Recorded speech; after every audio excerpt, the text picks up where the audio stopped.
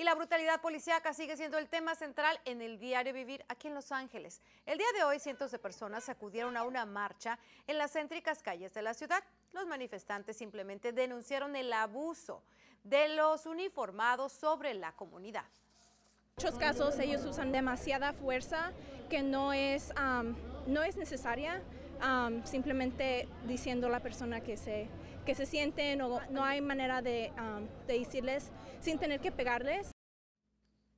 Los cientos de manifestantes se quejaron en general de todos los uniformados, desde los alguaciles de los diferentes condados del sur de California, así como del Departamento de Policía.